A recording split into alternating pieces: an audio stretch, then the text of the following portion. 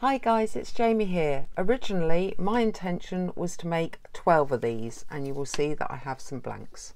However, one of them went quite dramatically wrong, which I do detail and how I corrected it.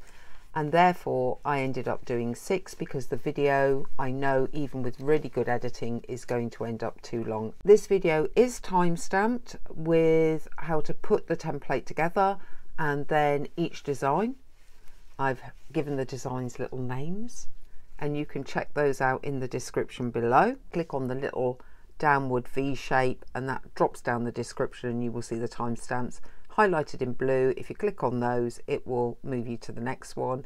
Equally on the video, you can see like little bars. And if you click on the next bar, it moves you forward to the next part of the video. Let's go back to the time where I was full of hope and joy before the big mistake and we're starting this project. To prep for this video we're going to take a lot of dictionary pages and glue two together at a time. I'm going to use glue stick for this because I find it makes things less bumpy.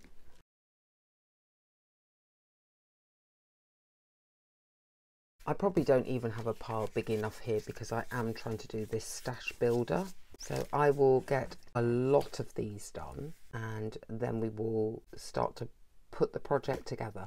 The next stage is to take the pile and divide them in two. And with one pile, we're going to cut off every single margin so that only the words remain. And with the other pile, we're going to cut off three of the margins, leaving one either to the left or to the right, entirely up to you, still on or in place. Where we've left this margin to fold it over, I scored it and then you can also just use something to flatten it a little bit more. And I use this to shape things, which is just a, a credit card type thing with one corner cut off. And I line it up against the edge and cut away at that corner, including the margin and the same on this side. Cut that away. And then we'll be doing the same on the one that doesn't have a margin. And then we should be gluing those together. So some glue along this folded piece.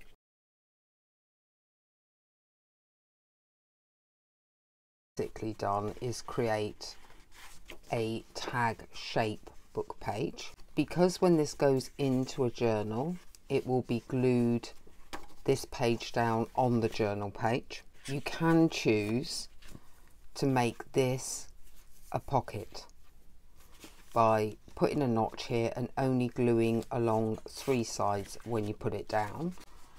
So I will grab a punch, go roughly halfway on that between those two pieces and just cut a notch out and then that would actually make a pocket in itself and we will be adding a pocket or two to these pages anyway. That is the next stage, put together 12 of those. What I've decided to do now that these are all cut and into the right shape is use as much of the scrap box as I possibly can in completing these. This one is going to be a hinged hidden pocket, I suppose you would call it. So I'm throwing Mod Podge down on the first part of it and then I'm taking what's some of what's left of this Paris napkin. I'm going to try tearing it. I know I'm not very good at this, but I want a more natural, organic feel. Run it up, run it there. I may not go for highly decorating everything because there are three sides to cover plus an extra pocket to add.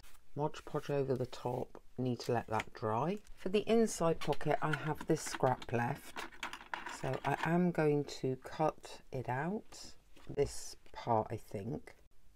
What I'm going to do is add some depth to this pocket by creating some hinging on this side just using some scrap because you won't see it. And to do that, we are going to take a piece of scrap paper, fold it in half, then run it along the bottom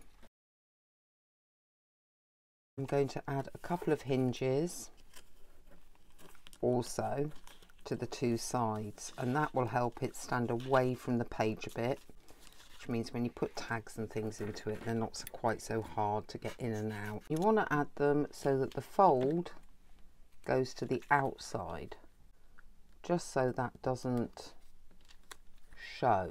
You can use any scrap paper. That will help that stand away from the page. I'm still waiting for this to dry so I'm just Oh, that's dry. Right. Do I want to add anything to this, like collage up here?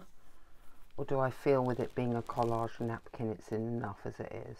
I'll have a little look. I've got my little boxes beside me, my favourite things. Like little tickets and things like that. And that's not, that covers up the tower, which would be a shame. Maybe something long then? Don't know. I'm not sure that anything really works with this. Potentially that pop that one down and let's see it's already got postage stamps and marks over it but you could add an inked one. Don't mind if it smudges. Okay we're going to leave it with this.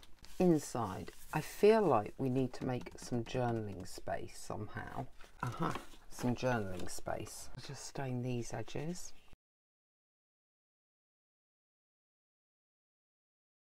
It's actually quite cool in itself. However there might be something we can put on this bit. I've got a little advert. Not sure about that. Some of this. I wonder if you could just have a piece of fancy doily. Mm, kind of works better, but then you need, I'm always a big believer in threes. You need something over here, but maybe a label. There's a couple of horizontals. I'm just experimenting here. How does that look? It's an area of interest and to be honest it looks fine. And then again, doesn't matter if it smudges or doesn't stamp up that well. Sorry, my coffee's in the way. Just throw that across there. So I start stamping labels, that's it, on the way. Labels and postmarks, one of my must-haves. Yeah. That's cool. Okay, that's a little bit of detail on there. Then you've got a map here, and that's going to be your pocket. So you need something behind. In the book, we have this, and I think that can be cut out, put as the background to that page, and then the pocket on top. While I like this, because it goes with the travel theme, I'm not a huge fan of the pocket. And I think it's because the pocket is narrower than the background. When I cut that pocket out, this was also on that piece of paper. And I think if I cut that circle out, that will make quite a nice little tuck spot. I'm going to use a little bit of the silicone glue and just glue around that bit, not too much. Pop it in that corner. Our first flip pocket has turned out to be a flip tuck spot. This we don't need to decorate because that's going to be glued to the journal page. These are all inserts that you add when the journal's put together. I'm going to leave the top free so there is still going to be a pocket. I will also stain around the edges with the vintage photo. I like to go heavy in the corners, don't know about anybody else. I like that actually. It's very simple but that is not a bad little start. Let's see what else is in the scrap box then. We know we have things like frames. We have like a picture that could be framed. I have this book on the 1950s which is full of black and white photos and there's this very interesting photo here of a young man checking himself in the mirror in his tux or his evening wear and I'm thinking that will make quite a good cover to that but I would want to take the shine off this and sepia, sepia tone it. To take the shine off I'm going to use clear gesso. I don't have much of this left. I'm going to cover him with this. Hopefully this is going to take some of that shine off. This is sticky so I am going to cheat slightly and throw some baby powder over and rub it in it's probably going to destroy everything I've done, but it doesn't matter. Get the vintage photo and rub it over. I think that fits with that frame better. Somehow we've got to cut this. I will cut that, but I'm going to cut it so that there is a slight edge because otherwise I will have to fussy cut all of that and I'm not fancying that. I have cut that as close as I dare to that frame and inked around the edges and I'm going to put it at a slightly jaunty little angle. I will ink this edge. Have a quick look at the labels, the number. Okay, the number's okay, but I'm going to tone it to match that. Yeah, I don't mind that number at the bottom. What do we think out of this scrapbox? We've still got adverts. Got a bit of masculine looking napkin. Oh, and I do have some red boxes that I really like. Not really where I wanted it though. So what can we do? And red. Oh, look, that's from the Sherlock Holmes. I'll try and get somehow a bunch of stuff to now work with this. We have this box here and um, a little fragile symbol and I think we're going to go with that. Now we still have a, a biggish space down here. This might be the page that we put the pocket on and I'd be looking for something red toned. If you cut something like this into a pocket. I've cut this out and I've scored it one centimetre in on three sides and cut out the little excess so that when it's folded to make a deeper pocket. It doesn't get too bulky on those corners. And that would be the pocket and it is going to sit up a bit so it will take quite a bit.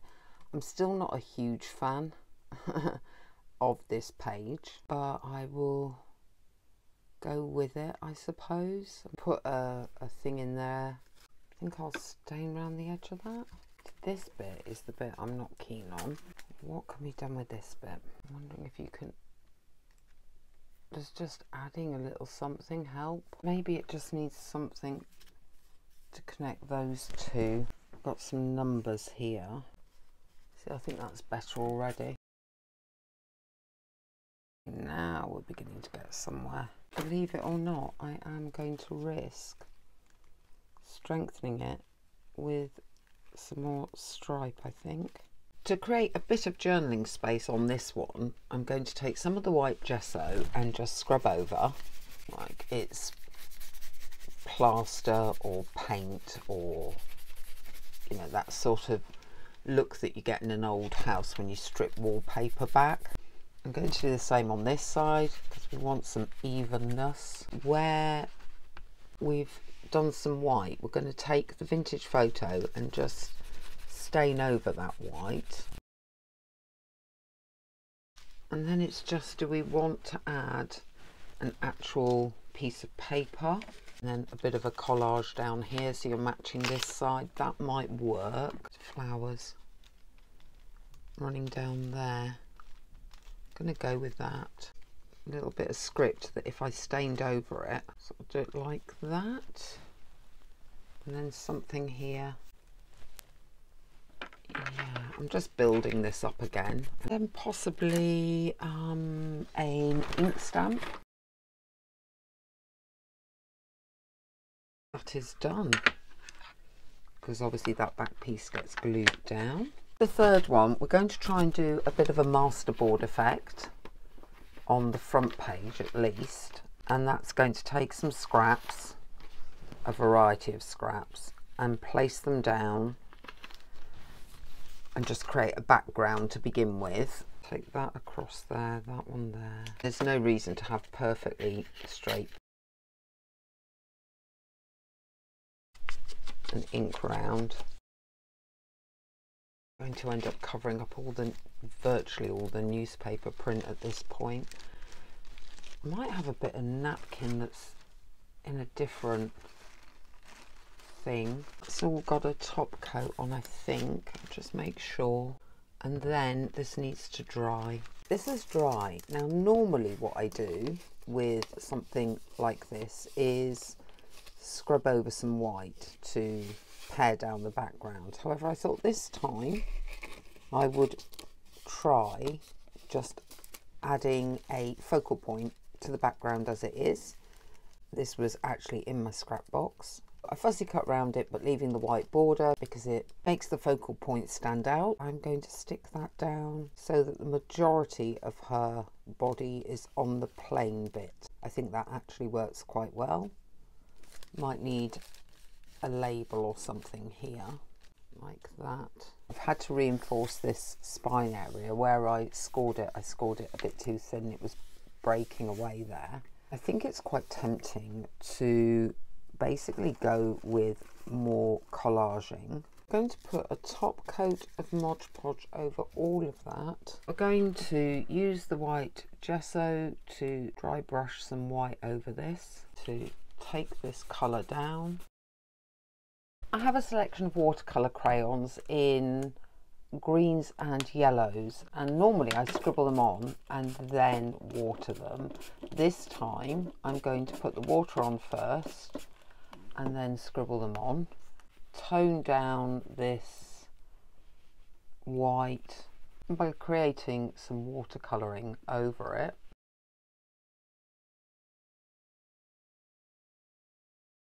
I'm going to put that out to dry. I didn't like the inside and then I tried painting over it and splashing it and doing all sorts and I still didn't like it. So what we're going to do because I like this part is cut this off so that it's a tag shape, trim it down and then attach it by loosely loosely attach it onto this one so it's not actually going to be attached it will swing free a little bit. Kind of fixed the problem. and now this print is the background.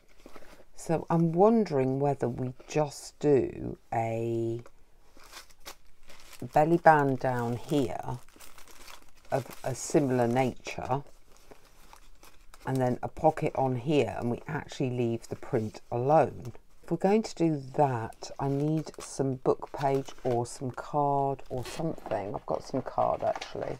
No, that's paper, but it will do. And we could do quite a wide one and have, well, almost a tuck spot. So cover this with scraps, make it look a bit like this one, put it on the inside.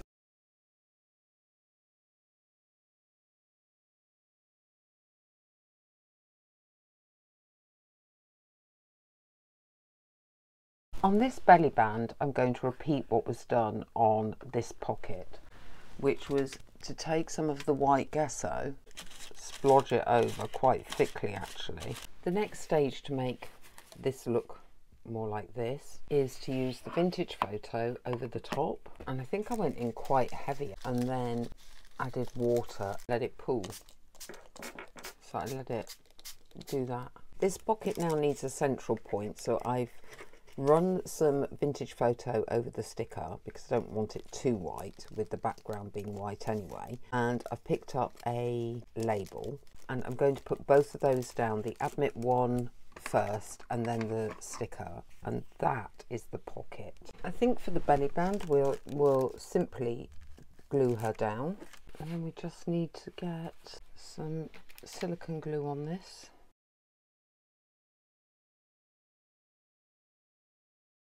clip it while it dries. I want a piece of washi tape or a piece of paper down that centre part over that join. Back with a little simple one. Um, so we can do something a bit more romantic and feminine because we seem to have done a few grungy. I've got some photos printed up that I got from TLC Printables Facebook group I also bought some of their background papers. So I'm going to do a little bit of matting and layering by putting a paper on, then choosing a frame and a photo, popping them all together and then they also gave out this as a printable. I just changed the colour slightly. And maybe having that. So I might cut that white border off. I did originally leave it on but I wasn't thinking of doing the background at that point. And then doing something along those lines. I probably should have done this slightly differently. I'm not quite sure what yet. Maybe edged it each piece. Maybe put this on its own little plaque but that's always something I can do next time. This is the peeled paint distress ink because these are green tones and I don't always want to use vintage photo. It's still dull. It's still got that vintage look to it. It's not a bright green. Yeah it's okay. I need to create a pocket as well for this one. So I'm wondering whether the pocket should be made from one of these pieces and then whether we just do something like that on the pocket and a are we going to do a frame behind with a person in it or not? I don't know yet. You could cut it so the pocket didn't cover them up too much but it would cover them up a little bit. And does that look a little odd? Possibly. Maybe you should have the pocket going to the side so that you can make the whole thing the pocket. Put it all onto another book page or something. I've made this one up and I've put the hinges on because this is now a two pages of book page glued together and then all that on top. It's made it like cardboard, which is a good thing. But if it went straight on that page, it would you'd never get anything in there. I've also got for reinforcing this central bit a little bit of lace. That will bring in our feminine element. On this side, I want to have some journaling space. So what I'm going to do is just tear down this piece of paper here. And then I'm looking at what we've got in the way of scraps. So we've got some of this paper as a scrap piece, which matches this one. Then we have these pictures still, which if you brought her over, could even again do it so that she doesn't fit the frame exactly. I think this is number four completed. I love this slipping frame look where everything's at an angle and not quite where you should have it. And with this, I tried to do one of those you know when pictures are hanging hanging on the wall and you actually see the the material they're hanging by and then a plate that's the sort of effect I was going for there. I'm not sure that's particularly successful. And as a journaling spot that's pretty limited but I love it as a look. Number five we're going to use this story of trains book that I picked up from the secondhand shop. The first thing I've done is cut out this map I'm putting Mod Podge down, sticking this on so it goes slightly over the edge. We're putting a top coat on because I want to coffee stain this and that will stop the coffee staining being totally absorbed by the paper. That's going to need reinforcing. Get a strip of paper down there.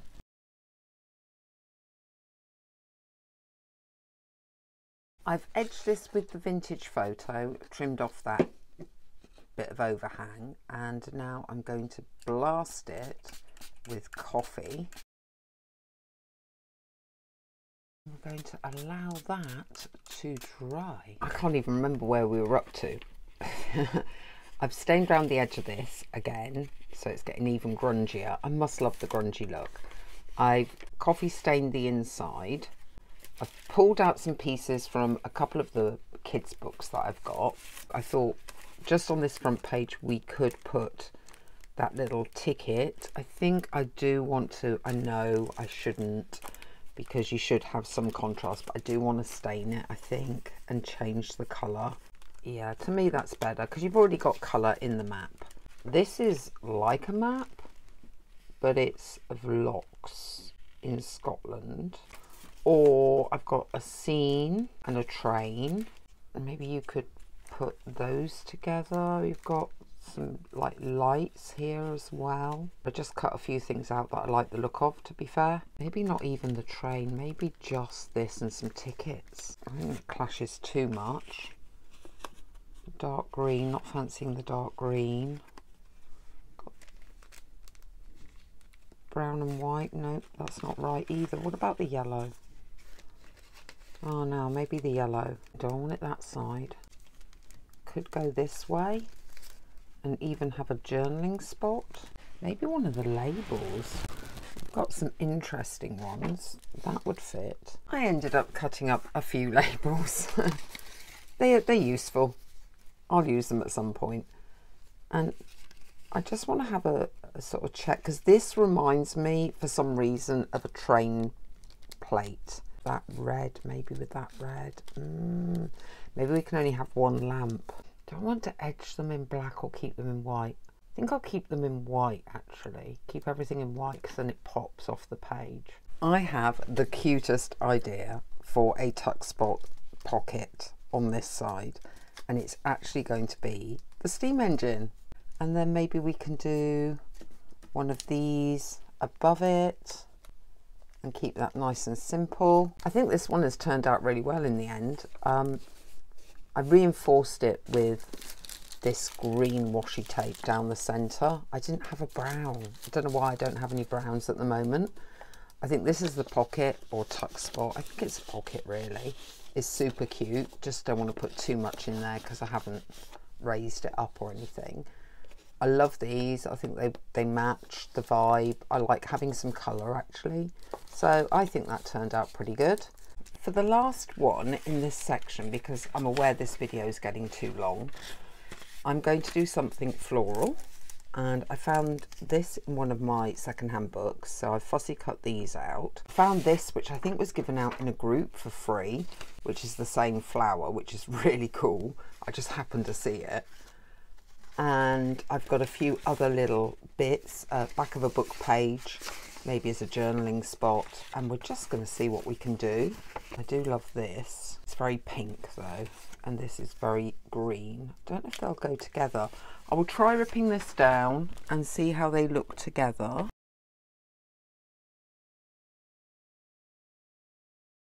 With that behind it I don't think that works but maybe if you do another section. Mm, not sure about that either. We do this one.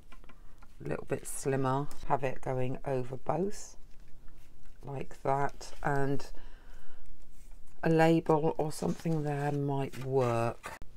To keep the femininity of this one going I've got the Victorian velvet for the edging.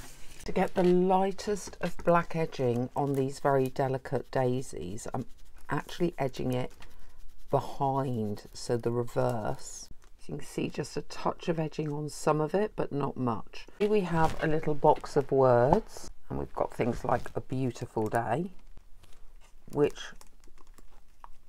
really goes with the idea of flowers, doesn't it? And we could just pop it at the bottom just to finish that off.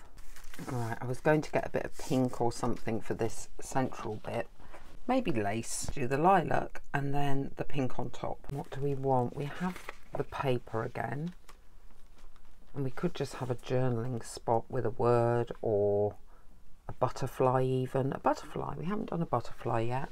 For the pocket on this side, I've torn it and then folded the edges over. I just want to trim out that little bit of excess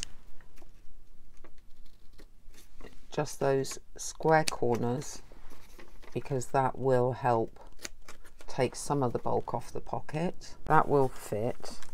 We have these flowers here which I would love to put on there.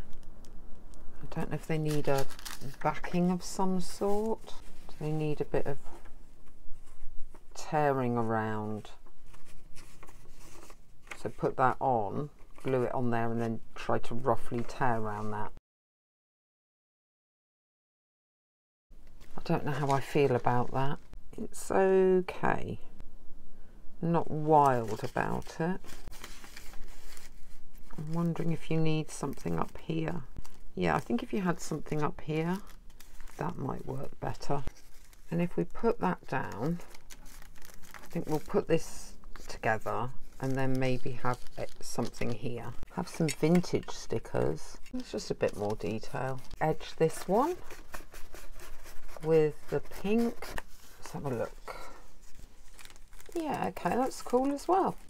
All right, that's number six. Like I say, this video is already too long.